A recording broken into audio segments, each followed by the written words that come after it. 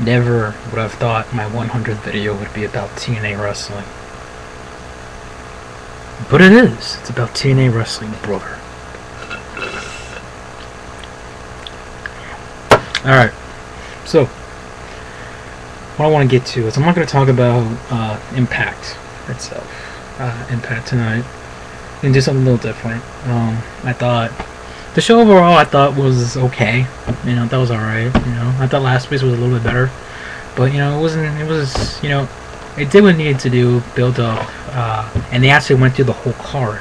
So it wasn't like I don't remember uh, Scott Steiner and Matt Morgan being on this card. You know what I mean? It's like they reminded you, like, oh yeah, so and so has this match and it all started when so and so got an interference in so and so's match to screw him out of a title. This makes sense. So obviously TNA did a good thing there. Uh, thumbs up for TNA for that one, for that move.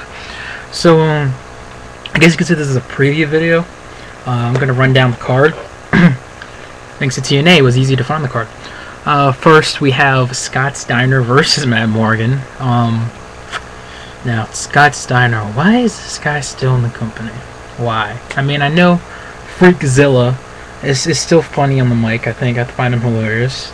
Uh, but, but why is he still there? I mean, the whole point of him being there was, you know, obviously to counter the main event mafia thing, which obviously didn't, couldn't happen because, you know, Booker T and later went to WWE and Kevin Nash did that one night thing. Uh, in the Royal Rumble match. So obviously that couldn't have happened. Uh, so you know, obviously they're stuck with Scott Steiner right now.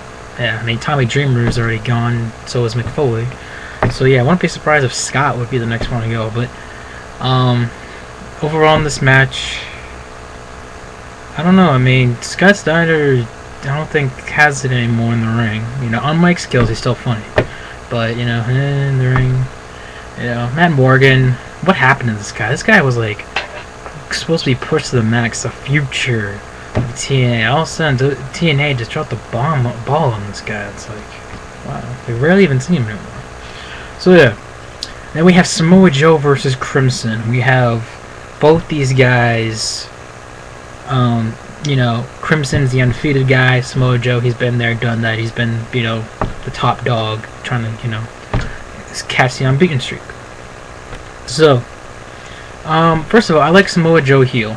You know, I like the Samoa Joe heel better than a face for some weird reason. You know, Joe, he has that attitude. He goes with the good that I don't give a crap what you think of me. Um, I do what I want when I want. You know that sort of deal. I like that side of Joe. I, like, think that's a good side. Um, and they're they're pushing Crimson, which is good. So they're not only are they giving Samoa Joe something to do after that Pope D'Angelo Dinero feud. Uh, you know, they're giving something Crimson to do, and Crimson is the future, I think, of TNA. He's one of the bright young stars that uh, TNA has to offer. I think they're doing a good job of uh, pushing him, and I honestly expect him to win at uh, Slammiversary. Then we have Angelina Love versus Mickie James for the Knockouts title. Now I know TNA is still doing this whole, got some eye, uh, this whole lesbian, creepy. I've we've been together another lifetime couple thing with Angelina Love and Winter, and it's you know it's I think it needs to go soon. You know the fact that Angelina, to me in my opinion, um, she's she's very good. I think talented in the ring. You don't put her in that gimmick, she's very very very good. I'm not saying she's good, not good, but I'm saying that you know without it, you know when she was in Beautiful People, I think she was good. You know she was bitchy, or whatever, and she was talented in the ring. You know she could put on a pretty good match. Um, but ever since she's been with Winter, this whole thing is making her slow in the ring. Yes, it's making her more aggressive, and it's interesting to see. I like her new finisher, but it's just I don't know something odd about it in my opinion. But don't get me wrong, this should be a good match. I mean, we all know how good Mickie James is and good Angelina is, and it's for the Knockouts title. So this could be a good match. I mean, this looks better than what was it, Mickie James versus Madison Rayne. We had that. How many times was that shoved down our throats?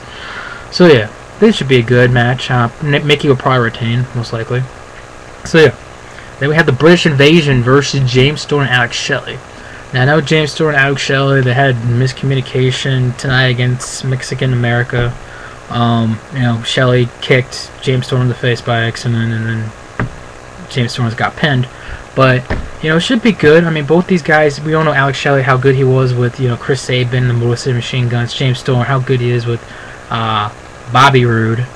I'm getting used to saying that. Uh, beer money. Yes, Joe Show. Beer money is the name of a tag team. Uh, and how good the British Invasion worked together. Doug Williams and um, God, what's his name? Doug Williams and Brutus Magnus. So yeah, this should be a good match. Um, I wouldn't be surprised if British Invasion win. Then again, I kind of wouldn't be surprised if you know James Storm actually win. So it should be a good match either way, and should be expecting. Should be a good match. Uh, then we get. I'm telling you, this card does not look too bad. Uh, Bully Ray versus AJ Styles, Last Man Standing. Um, now here's the thing with AJ Styles. I know it's Bully Ray. You know they go, oh, Bully Ray, he's old. He needs to retire. Blah blah. Here's the thing with AJ. AJ can make anyone good in a match. He is the phenomenal AJ Styles for a reason. He can make anyone look good in a match. And I think this is a prime example. He can make you look good in a match. And it's last man standing. So obviously we're going to see chairs, you know, probably like a candlestick, a trash can. You know a table is going to be involved just because of the whole fact that Bully Ray put AJ Styles through a table off the stage. So you know that's going to be probably a factor into it. So, you know, should be a good match. Uh, AJ most likely going to win, be in the face, you know. So yeah, should be a good match. And we got Jeff Jarrett versus Kurt Angle. The number one contendership is on the line. Not only that, but Kurt Angle's gold medal. Yeah, because how many times have people gone out after freaking Kurt Angle's gold medal? Stone Cold Steve Austin, the list just goes on. Um, so yeah, this should be good. Good match. Uh, and I think it's good. It's going to be one on one. There's not going to be no Karen Jarrett involved.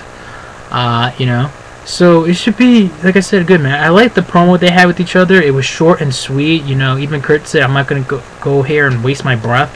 You know, the the blood is on your hands, and you know the fact that he likes the fact that he doesn't have to deal with Karen, but that is he that she is the mother of his two children, and and so yeah like I said, good match. This should be.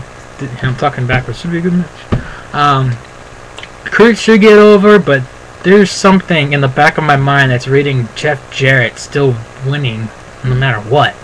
Like I'm, I'm, I'm picturing a screw job. I don't know why. You know, and the fact that he said Earl Hebner. How does he know Earl Hebner is gonna referee that match? It could be his son, whatever, refereeing that match. How does he know that? See, that's a hint right there. Um, and last but not least, the TNA World Heavyweight Championship match. Mr. Anderson.